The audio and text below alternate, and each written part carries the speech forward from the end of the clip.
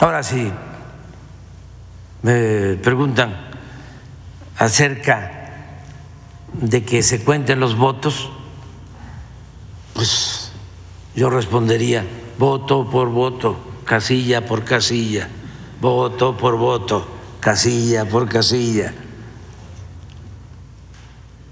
Porque el que nada debe, nada teme.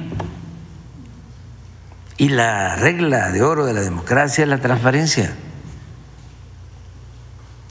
Eso no lo aceptaron cuando el fraude del 2006. Estamos hablando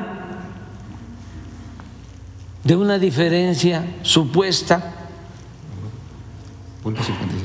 de 0.55 56, 57, no llegaba a un punto. Acá estamos hablando, a ver, repítelo.